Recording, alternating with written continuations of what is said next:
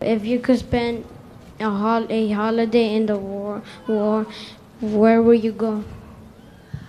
I would spend my holidays on deserted island, tropical island with my family.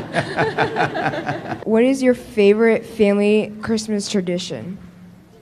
Our family tri- uh, Christmas tradition is that Christmas Eve we have a dinner and we go to midnight mass or uh, Christmas Day mass next day, and then another family dinner, and uh, Christmas on the 25th, Santa comes, we open the presents, and spending time together. What did you ask Santa for Christmas? Oh, that's a nice one. I asked Santa for Christmas uh, peace on the world, health, love, and kindness. On Christmas Eve, many years ago, I lay quietly in my bed.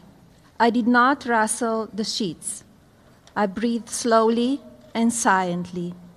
I was listening for a sound, a sound a friend had told me I'd never heard the ringing bells of Santa's sleigh. He marched over to us and pointing to me said, Let's have this fellow here. He jumped into the slate. The conductor handed me up. I sat on Santa's knee and he asked, Now, what would you like for Christmas? But the thing I wanted most for Christmas was not inside Santa's giant bag.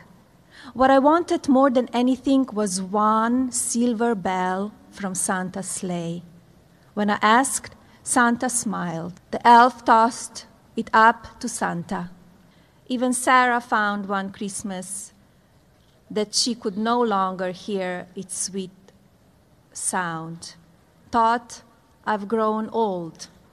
The bell still rings for me, as it does for all who truly believe.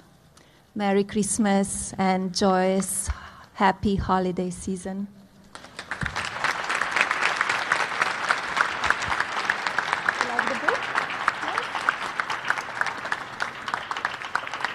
응.